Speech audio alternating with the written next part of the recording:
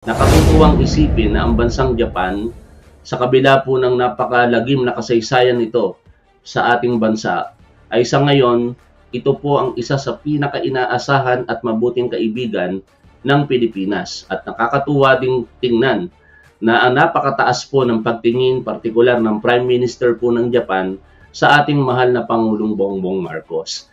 Dito po sa panonoorin po nating balita, makikita po natin yung gesture nito pong si Prime Minister Kishida Fumio para, para, para po sa ating mahal na Pangulong Bongbong Marcos.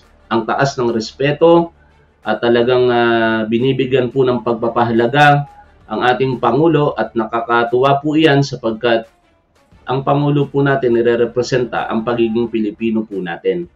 At kung nagagawa po iyan ng Prime Minister po ng Japan, marahil napakataas talaga ng pagtingin niya sa bawat Pilipino. Pakinggan po natin ang latest na balita kaugnay po ng natapos na commemorative summit sa pagitan po ng ASEAN at ng Japan.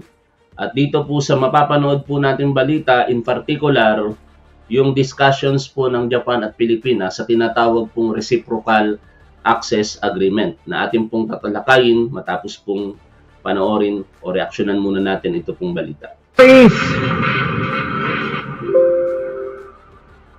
Ohayo gozaimasu, Igan! Magalas 8.30 na nga ng umaga ngayon dito sa Japan at kagabi sa papupulong o paghaharap ni Pangulong Bongbong Marcos at uh, Japanese Prime Minister Kishida Fumio sa isang bilateral meeting sa sidelines ng uh, 50th ASEAN-Japan Commemorative Summit ay binigyang diin ni Pangulong Bongbong Marcos ang kahalagahan ng Reciprocal Access Agreement o RAA na bubuuin ang dalawang bansa kasabay ng kanyang panawagan sa lahat ng mga miyembro ng ASEAN na magkaisa sa gitna raw na patuloy na paglabag sa international law kabilang na ang tensyon sa South China Sea. Sino ba ang lumalabag sa international law?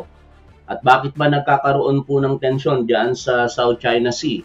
Sa partikular na lugar po natin, tinatawag po natin itong West Philippine Sea, walang iba kung hindi ito pong China Coast Guard. Sila po ang dahilan kung bakit meron pong tensyon diyan po sa West Philippine Sea. Kasi bakit? Hindi po nila nire-respeto kung ano po ang umiiral na batas. Ang China Coast Guard, hindi po nila ginagalang ang international law, ang United Nations Convention on the Law of the Sea, at saka yung 2016 July 12 Permanent Court of Arbitration ruling. Makikita po natin ito sa kaliwat kanan at paulit-ulit na pambobomba ng tubig, pagsasagawa po ng dangerous maneuver, aggressive behaviors, even yung paggamit po ng makailang beses ng military grade laser sa ating Philippine Coast Guard. At hindi po talaga matigil. Kaya ngayon, ano ang mga kaparaanan na dapat pong gawin, partikular po ng Pilipinas? Una, syempre, ipagtanggol natin in general ang ating karapatan diyan sa West Philippine Sea. Sa ating exclusive economic zone, lilinawin lang natin, meron po tayong tinatawag na sovereign rights. At syempre, sa loob po ng ating territorial sea, nandiyan po ang ating sovereignty. At sa dalawang bagay na yan, yung EEZ at saka yung territorial sea, dapat tayo po ang nag exercise ng jurisdiction dyan. Ngunit yan po ay nilalapastangan ng bansang China sa pamamagitan po ng pagpapadala ng napakarami pong Chinese fishing militia na hindi naman talaga mga mangingisda, kung hindi mga kasabwat po ng China Coast Guard at even ng Chinese Navy. At saka ito pong ginagawa patuloy na tinatawag pong provocative, deceptive, coercive, at kung ano pang mga adjective dito po sa China Coast Guard. Negative adjective, ano? Pa dito po sa China Coast Guard. At uh, yan po ay alam ng ating Pangulong Bongbong Marcos. Siyempre sa tulong po ng kanyang mga pinagkakatiwalaan sa National Security Council at sa pamamagitan po ng paglalahad ng ating Pangulo, particular dito po sa Prime Minister po ng Japan na si, si Kishida Fumio, eh ang bansang Japan po nakahandang tumulong sa ating bansa. In particular, kung paano po palalakasin ang depensa at seguridad natin diyan po sa West Philippine Sea at saka syempre sa pagtugon sa mga natural na kalamidad at iba pang mga challenges na kinakaharap po ng ating bansa. Yan po ang layunin ng tinatawag po na Reciprocal Access Agreement. Ito pong Reciprocal Access Agreement, nilalayon po nito na tularan ang Visiting Forces Agreement ng Estados Unidos at ng Pilipinas. Kasi sa pamamagitan po ng Visiting Forces Agreement at uh, ngayon yung EDCA, eh lumalakas patuloy ang ating depensa at seguridad lalong-lalo na sa external threat. At napakahalaga na ma-realize po ito ng dalawang bansa, maisakatuparan ng dalawang bansa, ang Pilipinas at Japan, nang sa ganon, maging deterrent factor po ito sa aggressive behavior ng China. Kasi hindi naman maikakaila na kahit malakas po ang bansang China kapag ka ito po ay maaaring pagtulong-tulungan ng mga bansa partikular ng mga malalakas ding bansa katulad nila, eh magdadalawang isip po ito na gumawa po ng hakbang na maaaring sa huli ay ikapahamak po nila. O, ituloy po natin ang pakikinig dito po sa balita.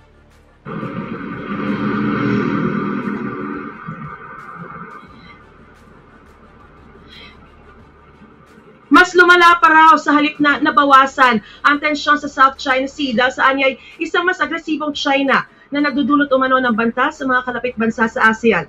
Binanggit ng Pangulo ang benepisyo makukuha ng dalawang bansa sa pagbuo ng Reciprocal Access Agreement o RAA na magiging katumbas daw ng Visiting Forces Agreement sa pagitan ng Pilipinas at Amerika.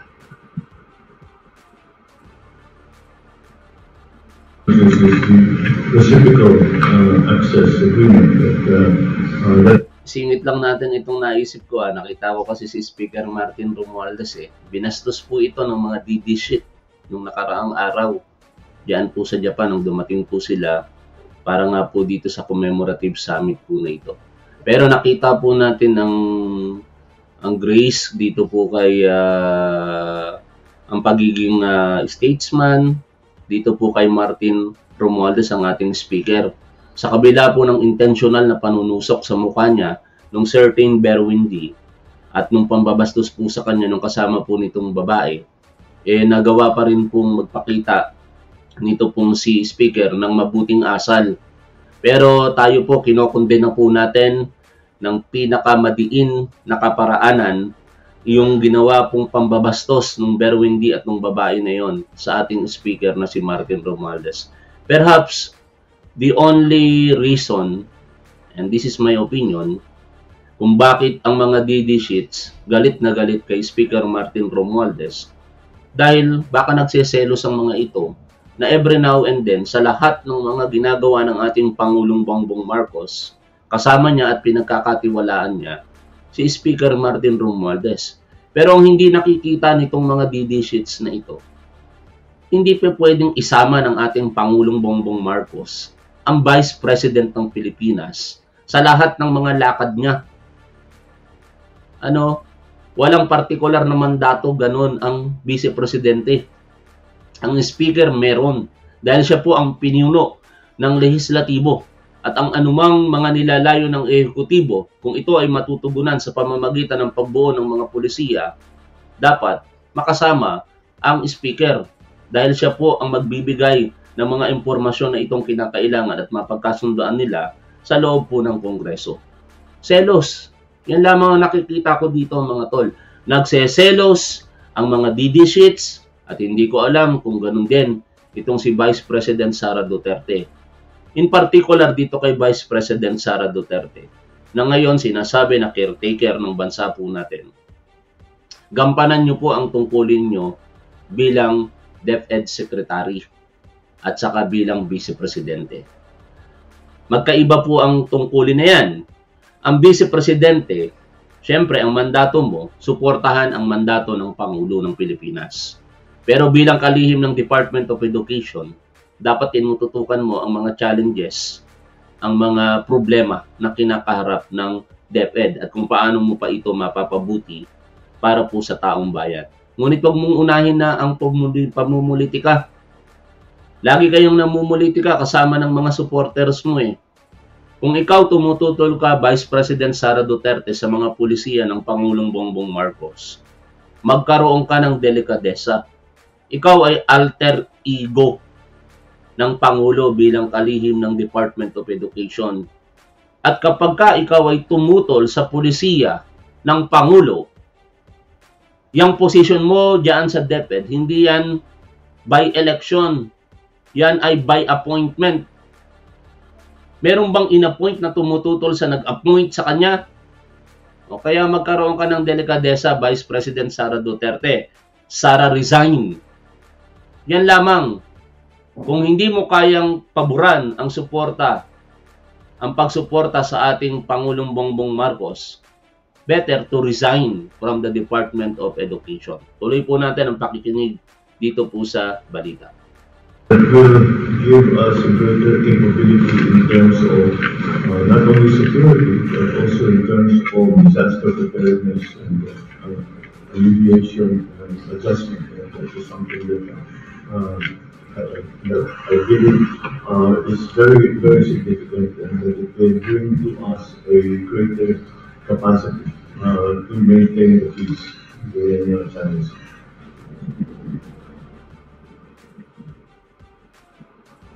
Kamakailan, sunod-sunod na insidente ng panghaharas ng China Coast Guard at Chinese Maritime Militia sa ating mga tropa kabilang lang sana sa rotation and resupply mission sa Ayungin Shoal na humantong pa sa pagbangga at pagkasira ng ating barkong ML Kalayaan. Sa panayam nga nitong weekend kay Pangulong Marcos ng Japanese media, sinabi niya mas lumala pa raw ang tensyon sa halip na mabawasan ito. Patuloy daw Hindi lang ML Kalayaan ang tunatamo ng ah, pagkasira ah, sa mga aggressive ah, behavior na yan ng China Coast Guard. Pero yun po yung pinakahuling pangyayari. But sometime in October this year, kung di ako nagkakamali, 22 yata, yung Onaizami 1, nabangga din po ito ng China Coast Guard at nagtamo rin po ito ng sira. O, dalawang pagkakataon na na nagkaroon po ng collision diyan po sa West Philippine Sea, sa Ayungin Shoal in particular, yon ay lahat kasalanan ng China Coast Guard. Taliwas doon sa sinasabi ng China at ang masaklap, pinapakalat ng mga Pilipino na ang interes ng China ang isinusulong. May pasabi-sabi pa silang banggami daw ang ginagawa po ng Pilipinas. Biruin ninyo, tayo pong mga Pilipino, kinakalaban ng mga kapwa nating Pilipino na ito dahil interest po ng China ang kanilang isinusulong.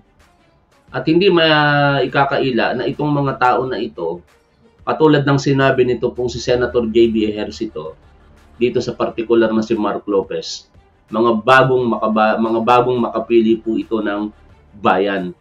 May kapakinabangan po silang natatanggap diyan po sa China. To be more specific kung sino yung may kapakinabangan at uh, apparent na apparent po ito sa harapan ng publiko, yung scholar ng China na si Sas Rogando Sasot. I do not know sa iba kung sila po ba'y tumatanggap ng kabayaran mula po sa China. Tuloy natin ang pakikinig dito po sa balita mga tol. daw nating pipiliin ang kapayapaan habang patuloy din daw nating palalakasin ang alyansa sa mga bansang may parehong paninindigan sa atin para mapanatili raw ang katatagan sa rehiyon.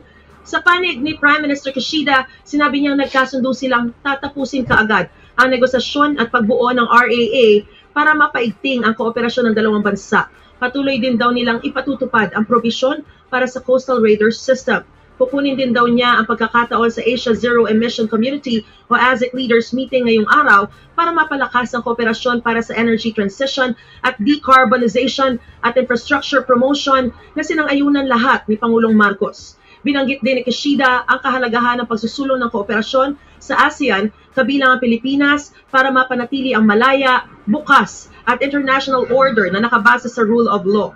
Sa pagtatapos kahapon ng ASEAN-Japan Commemorative Summit, nagkasundo ang ASEAN at Japan na magpatupad ng Joint Vision Statement Plan na lalong magpapalakas at magpapatatag sa kooperasyon nito pagdating sa seguridad, maritime security at connectivity. Bulag at bingi na lamang. Pasensya na po ah, hindi po ako nangahamak sa mga kapatid po natin PWD. Ito po ay ah, ah, I should say figurative. Ano? Bulag at bingi na lamang ang hindi nakakakita ng mga ginagawa po nito pong si Pangulong Bongbong Marcos. Hindi nakakakita at hindi nakakarinig. Kasi bakit? Kitang-kita po natin ang ebidensya na sa pamumuno po ng ating Pangulo, kahit ito po ay almost 2 years pa lamang, gumaganda po ang takbo ng Pilipinas. Ang ekonomiya po natin nangunguna na po kumpara sa mga dating namamayagpag ang ekonomiya. Tinalo na po natin ang Vietnam. At ang pinakamaganda, sa kabila po ng global challenges ng inflation, ang Pilipinas, nalalabanan po ito at nag slow down yung inflation rate dito po sa bansa po natin. Hindi nyo may kakailayan. Marami po tayong mga manonood sa iba't ibang panig po ng mundo. Alam po nila kung paano po nahihirapan ng bawat, bawat Pilipino, ang mga mamamayan nila doon dahil tumataas po ang presyo ng bilihin. In short, ang inflation hindi lamang dito nangyayari sa Pilipinas pero natutugunan po ito ng maayos ng ating gobyerno. Siyempre, hindi mawawala ang mga problema. Nananatili po ang mga problema pero dapat makita din natin sa mas malaking picture yung ginagawa po ng Pangulong Bongbong Marcos. Ang ang ang ang, ang, ang, ang unemployment ito po ay sa kauna-unahang pagkakataon sa loob po ng kulang-kulang dalawang dekada bumuti po ang datos. Sa ngayon, kakaunti na lamang kumpara sa mga nakalipas na taon. Pero milyon pa rin naman ang pinag-uusapan. Ano? Eh, gaano naman karami ang populations po ng Pilipinas. Nasa 110 million plus po tayo. Pero ang unemployment ang uh, unemployment rate ay nasa 2 million more or less na lamang. At ang pinakamaganda pa dito, ang employment rate Mahigit po sa 95% ng mga Pilipino may trabaho na po sa kasalukuyan. Nagawa ba yan ng ipinagmamalaki ninyo na pinopo ninyo mga DD sheets? Hindi. Yun lang ang simpleng kasagutan doon. Hindi yun nagawa ni Rodrigo Duterte. Ngayon, ayaw ko na sanang banggitin ang mga comparison na yan. Pero napipilitan akong banggitin kasi kayo mismo ang nag-uudyok sa amin eh. Binibigyan nyo kami ng dahilan para balikan po ang nakaraan. Bakit? Eh lagi nyong tinitira si Pangulong Bongbong Marcos at kinukumpara sa sinusuportahan ninyo at pinupuon ninyo. Kung hindi nyo ginagawa yan, ang gagawin lang namin, katulad ng ginagawa ni Pangulong Bongbong Marcos, ano ang sabi ni Pangulong Bongbong Marcos sa kanyang inaugural speech? Nandirito ako para sa kasalukuyan at sa hinaharap. Pero English po yung pagkakasabi niya eh, kung hindi ako nagkakamali. Ganun dapat tayo eh. Pero kayong mga DD sheets, nandirito kayo kasi hindi nyo makalimutan ng nakaraan at gusto nyo ang nakaraan na yan manatili sa kasalukuyan at sa hinaharap. Yon ang problema sa inyo mga DD.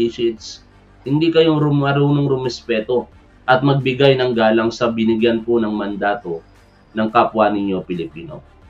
Basahin po natin in particular ang balita po na ito mula po sa GMA News Online. Nakalagay po dito, Philippine-Japan discuss strengthening maritime safety energy cooperations. Yun na po yung napanood natin sa balita kanina, pero mas uh, lala, mas lalaliman po natin yung kaalaman na dapat po nating makuha dito. Dahil ito ay uh, Siyempre, teksto na at uh, detalyado po ang balita dito. Sabi po dito, published December 17, 7.49 in the evening by John Victor D. Cabuenas, President Ferdinand Bongbong Marcos Jr. discussed boosting maritime safety and energy cooperation with Japanese Prime Minister Fumio Kishida over the weekend. Bakit Maritime Safety and Energy Cooperation.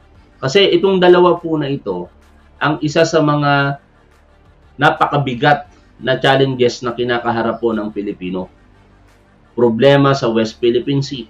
Hindi po biro yan. Higit sa lahat, yung problema po natin sa enerhiya. Ang Malampaya Reserve, sinasabi na malapit na po itong maubos at magiging problema po ito ng Pilipinas kapag ka naubos po ito. Saan tayo kukuha ng supply ng enerhiya. Kaya ngayon, nakikita po ng ating Pangulo yan at ng Japan, kaya ginagawa na po nila ng kaparaanan para po i-address ang problema na yan. Sabi pa po dito, The discussion took place during the Japan-Philippines Summit meeting on Sunday afternoon with Marcos currently in Japan for the 50th ASEAN-Japan Commemorative Summit. Ayon po sa ating Presidential Communications Office, Prime Minister Kishida stated that Japan would steadily carry out the provision of coastal radar system through official security assistance and would like to further strengthen cooperation in maritime safety capacity building based on the Memorandum of Cooperation between the Coast Guards of the two countries that was signed on this occasion. Uh, that's explain the presence of uh, kanina nandito sa pot sa video si Commandant Galban. Nakita natin po dyan yung pinuno po ng Philippine Coast Guard kasi pinag-uusapan po nila kung ano po ang nararapat para po mapalakas ang depensa, depensa at protection po ng ating uh, karagatan diyan po sa West Philippine Sea. The PCO said the two leaders agreed to continue to reach an early conclusion on the negotiations of the Reciprocal Access Agreement and to enhance cooperation between the coast guards of the two countries. The maritime safety cooperation comes as Philippine vessels were water cannoned by the China Coast Guard. Maraming beses po ito ha, pero the latest of which, syempre nangyari nito lamang pong nakaraang linggo kung saan sa magkasunod na pangyayari doon po sa Scarborough Shoal or kinikilala po natin bilang Baho de Masinloc for about 3 hours. Yung mga vapor po na ginamit po ng ating Bureau of Fisheries and Aquatic Resources para po magbigay ng ayuda sa mga kababayan po nating mangingisda doon po sa Baho de Masinloc ay continuously binomba po ng tubig ng China Coast Guard. At nagsagawa pa ang mga China Coast Guard na ito kasama ng Chinese Maritime Militia ng mga dangerous maneuver. And the following day, Sunday morning, yun na po. Nagsagawa ng dangerous maneuver, nag-water cannon, binangga po ang MB Kalayaan, nagsustain po ito ng sira. At ang pinakamasakla po doon, yung isang binomba ng tubig, nakasakay po doon ang ating Chief of Staff na si General Romeo Browner. Bagamat very, uh, kumbaga, courageous yung ipinakita na yon ng ating Armed Forces Chief eh, napakamapanganib po noon. Kasi what if nga naman, sabi lang ng isang observant, what if kung wag naman, pumanaw doon si napasama at uh, pumanaw si Chief of Staff Romeo Browner. Eh di nagkagulo na, gera na. Eh, Armed Forces Chief yun eh. Ano? Pero syempre, hindi naman ganun po yung nangyari. Sabi nga po ni General Romeo Browner, kaya po siya nandoon para alamin personally kung ano po ang ginagawa ng China Coast Guard at napatunayan po niya yon na ganun talaga ang gawi po ng China Coast Guard. Ang mga ras, mambuli sa ating mga kababayang Pilipino dyan sa West Philippine Sea at syempre sa ating Philippine Coast Guard at ang mga resupply boat na ginagamit ng ating Armed Forces of the Philippines. The Philippines in 2013 challenged China over its claims on the West Philippine Sea, where Manila scored a victory and a landmark ruling by an international tribunal which invalidated Beijing's claims. Itong impo na ito ang pinakamahalaga na dapat alam ng bawat Pilipino. Bakit? Kasi ang mga Chinese, alam po nila eh, yung kanilang historical claims. Itinuturo po ito individually sa kanila. Pero marami pong mga Pilipino ang hindi po nakakaalam tungkol po sa West Philippine Sea. Kaya sa atin pong mga nakakaalam, sa inyo pong mga nakakapanood, from time to time sabihin po ninyo, atin ang West Philippine Sea. Bakit? Kasi sinasabi po ng international law, sinasabi po ng UNCLOS, at sinasabi po ng July 12, 2016 Permanent Court of Arbitration. At tulad ng binanggit po natin kanina, Ang West Philippine Sea po ay binubuo ng tatlong bahagi. Pero ang pinaka-common na pinag-uusapan, yung exclusive economic zone at saka territorial sea. Yung extended continental shelf, hindi masyadong issue yan sa kasalukuyan. Sabihin po natin sa ating mga kilala, ang exclusive economic zone po natin, ito po ay may layong 200 nautical miles mula po sa ating dalampasigan. Mga Pilipino lamang dapat ang nakikinabang, gumagamit, nag explore sa lahat ng mga matatagpuang living and non-living things po dyan. Tulad po ng lamang dagat, langis, gas, at iba pa. And finally, syempre, bago po tayo magtapos, sabi po dito ng ating uh, like-minded country sa pangunguna ng kanilang Prime Minister na si Kishida, basahin ko po, Prime Minister Kishida stated that taking the opportunity opportunity of the Asia Zero Emission Community or ASEC Leaders Meeting, he would like to strengthen cooperation in energy transition and decarbonization, as well as to continue steadily promote infrastructure cooperation. Yung mga bahagi po na yan na binanggit ng PCO ay makakatulong po sa ating pangangailangan sa enerhiya. At saka syempre, yung mga araw-araw po nating uh, nagagawa, uh, kina, kinakailangan paggamit po ng mga public infrastructure. Nandiyan po ang Japan na handa pong tumulong sa atin sa kasalukuyan at sa hinaharap. Karamihan po sa mga proyekto ngayon na ongoing dito po sa Pilipinas, ayan po ay dahil sa pakikipagtulungan ng bansang Japan sa ating bansa. Yung mga pinangako po ng China na natili na lamang po iyong pangako at natapos na lamang ang termo no, nito pong si Rodrigo Duterte, hindi po na isakatuparan ang karamihan po sa mga pangako na yan. Except, syempre, kaya nga tumatanaw ng utang na loob ang mga Duterte sa mga sa China, eh dahil yung mga pangako ibinuhos po nila partikular sa Davao region. Pero the rest of the country ang mga pangako po ng China hindi po tinupad.